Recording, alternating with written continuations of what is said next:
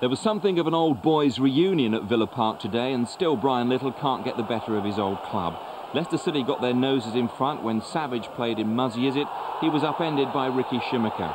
Clear penalty with the referee in no doubt. Garry Parker, once of Villa, took the penalty. It went in just under Bosnich's body. But Villa grabbed a point thanks to a former Leicester City star. Collymore's cross glanced in by substitute Julian Joachim, his fourth goal this season. His old manager was philosophical, though, about the outcome.